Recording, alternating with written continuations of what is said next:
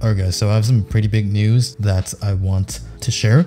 So um, as you can see on my screen, here we have a DevForum article that is titled Studio Beta UI Stroke Improvements, Scaling, Offsets, and more. So a huge update for uh, UI.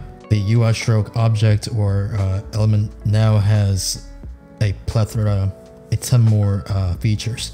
So let's start. We have, we now have the ability to scale thickness because previously you couldn't. Um, for example, if you add like a three pixel thickness um, stroke, once you resize your screen into a smaller screen size, like like a tablet or a phone, stroke size obviously remains the same and uh, it is bloated and does not scale properly. Now I've already been playing with the update, but uh, let me give you guys a more concrete example, a visual example so you can see exactly what I'm saying. So let's me make a copy. Here is my marketplace UI, right?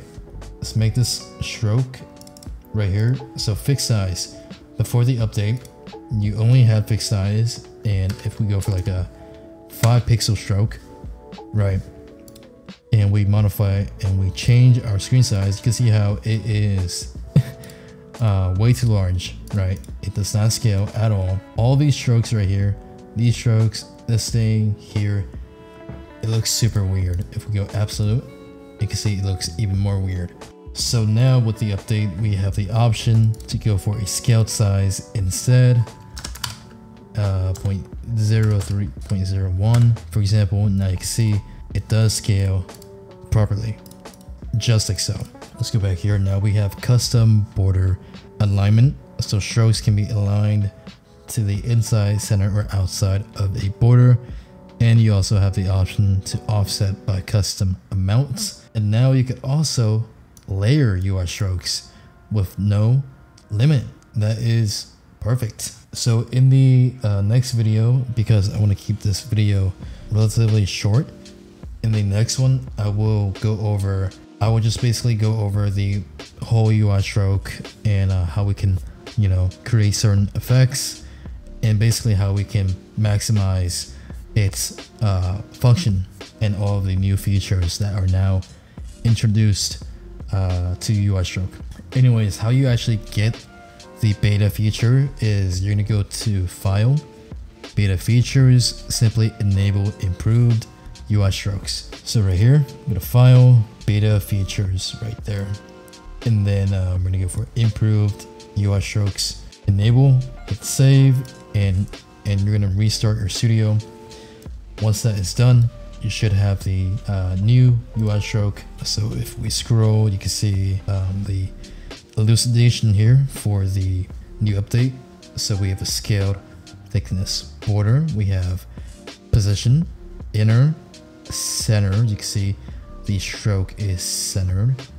but uh, we also have outer. And we have border offset.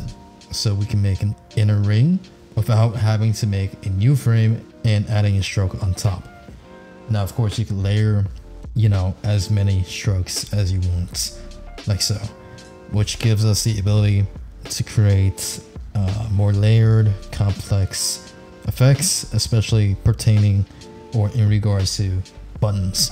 So I'm already, you know, thinking, picturing all, this, all the stuff that we can, can make from buttons to, you know, like to you know drop downs and uh, other stuff in conjunction with image assets nine slicing you know glow effects all that stuff we can create we can definitely you know start creating some amazing UI so and obviously UI strokes do not adhere or uh, respond to layouts. So that is something to consider obviously. Anyways just a quick little video um, to bring some awareness to this new update if you guys, you know, don't already have it because it is a beta feature. If you don't look for it and if you're not, you know, purposely enabling the uh, feature, you're obviously not going to have it. Go check it out if you want to. Obviously, check out the store gfxcomet.com. It is now October, so we're gonna have. So I am going to work on a Halloween icon pack, but uh, we currently have five icon packs right here: vector, currency, gifts, food, Valentine's. We have UI kits, and of course we have the Academy, where we currently have seven tutorials right here, as you can see. Number eight is coming very soon. This will be the largest uh, collection of educational content for Roblox designing. Thank you guys. I will see you in the next one.